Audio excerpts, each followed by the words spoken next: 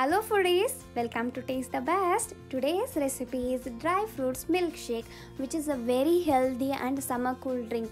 Children, pregnant, elders, those who have iron and blood deficiency can have this on a daily basis. So let's start this healthy drink.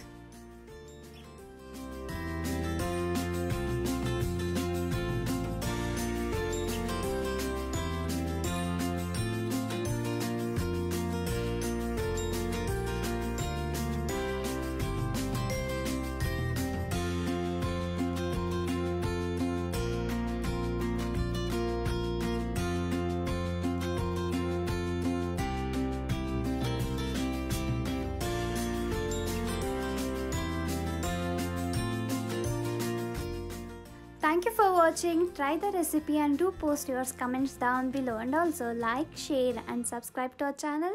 Taste the best.